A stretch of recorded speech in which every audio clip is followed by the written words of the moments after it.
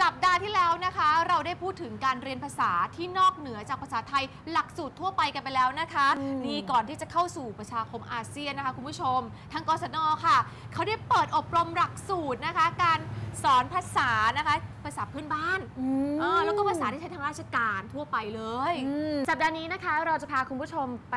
ภาคตะวันออกเฉียงเหนือค่ะค่ะหรือว่าอีสานนั่นเองอืมไปดูว่าเขาเรียนเขาสอนกันยังไง แต่จะเป็นจังหวัดอะไรนั้นไปดูกันค่ะ ช่วง Happy Learning วันนี้เราพาคุณผู้ชมมาสู่จังหวัดอุบลราชธานีค่ะ เมื่อวันที่ 19 พฤษภาคมที่ผ่านมา เราได้มีโอกาสมาร่วมพิธีเปิดศูนย์การศึกษาอาเซียน ของจังหวัดอุบลราชธานีกันค่ะ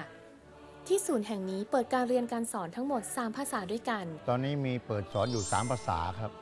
มีอังกฤษ มีจีน แล้วก็เวียดนาม มันเป็นนโยบายของรัฐบาลที่จะเพิ่มศักยภาพของ สมาชิกกองทุนพัฒนาบทบาทสตรีนะฮะก็ให้กระทรวงศึกษาเนี่ยโดยกศนเนี่ยจัดสอนภาษาอาเซียนขึ้นมา อุบลเราก็เลือกเอาภาษาที่เราเป็นชายแดนที่ติดกับประเทศ เราติดกับประเทศเวียดนามกับกับลาว เราก็เลยเลือกเวียดนามกับลาว แต่ว่าอังกฤษกับจีนเนี่ยมันเป็นสิ่งที่จะต้องดำเนินการอยู่แล้ว ที่ศูนย์อาเซียนศึกษาจังหวัดอุบลราชธานี ถือเป็นอีกหนึ่งพื้นที่ที่ให้ความสำคัญกับประชาชนในพื้นที่ทุกกลุ่มทุกวัยค่ะ โดยเฉพาะอย่างยิ่ง สมาชิกกองทุนพัฒนาบทบาทสตรี ที่มีความสนใจในด้านภาษา ก็สามารถมาศึกษาที่ศูนย์แห่งนี้ได้ค่ะ เป็นสมาชิกกองทุนพัฒนาบทบาทสตรีของจังหวัดอุบลค่ะ ได้รับเอ่อการสนทนาภาษาเพิ่มมากขึ้นนะคะ 不是骑哦，刚刚说骑，เมื่อกี้ออกเสียงว่าอะไรคะ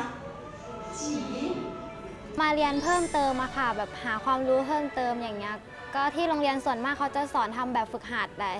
ก็ไม่ค่อยได้สื่อสารเท่าไหร่มาเรียนที่นี่ก็ส่วนมากเขาจะสอนแบบสื่อสารนะคะอยากหนูก็อยากสื่ออยากคุยกับเขารู้เรื่องสื่อสารอย่างนี้แล้วอีกอย่างก็อยากไปเรียนต่อที่ประเทศจีนด้วยะค่ะ ก็แบบว่าจะสอบชิงทุนไปก็เลยมาหาความรู้เพิ่มเติมอะค่ะ และนี่ถือเป็นอีกหนึ่งพื้นที่ที่ให้ความสำคัญสำหรับคนท้องที่ทุกเพศทุกวัย ในเรื่องของการศึกษา